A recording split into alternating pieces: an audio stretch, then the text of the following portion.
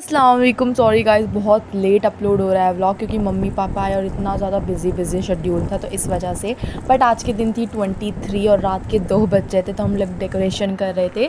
मैंने कुछ नहीं किया था, मेरी सिस्टर और कज़न ने किया था, मैंने सिर्फ़ शूट किया था। एंड हम लोग इधर बैलून्स वगैरह फुला रहे थे एंड मैं आपको फाइनल लुक दिखाने वाली हूँ। And guys you can see the final look it's very pretty बहुत ज़्यादा प्रिटी थी। और फिर आज के दिन थी ट्वेंटी फोर्थ हम दस बजे के समथिंग एयरपोर्ट के लिए निकल लिए थे। और हम लोग इतना लेट पहुँचे थे, बहुत ज़्यादा रश था रास्ते में इस वजह से।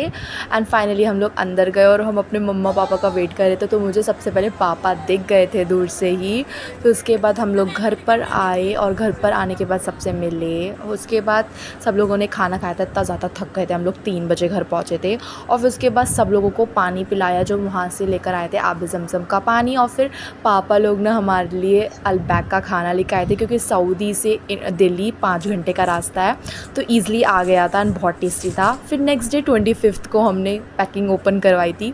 बहुत सारा सामान मिला था, इतना मज़ा आया। बच्चों के तो मज़े ही आ गए और यहाँ पापा सॉफ्ट ड्रिंक्स वगैरह लाए थे।